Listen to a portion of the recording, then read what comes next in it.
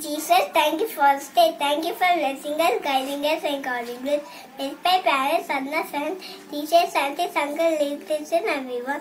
To bless people, forgive us, sins. Give us, give us Christmas for I not our bad things. We wake up in the morning, clear the earth. It is most precious, may be pay, Amen.